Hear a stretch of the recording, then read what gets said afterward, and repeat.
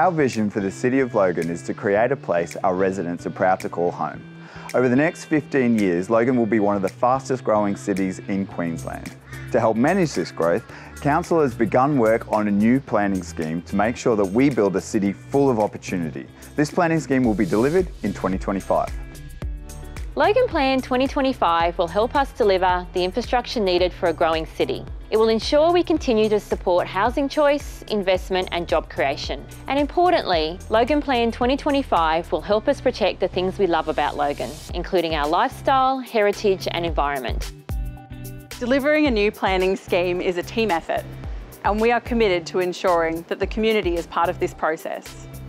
To learn more about this exciting project and be part of achieving our vision, please check out the Logan Plan 2025 website for more information.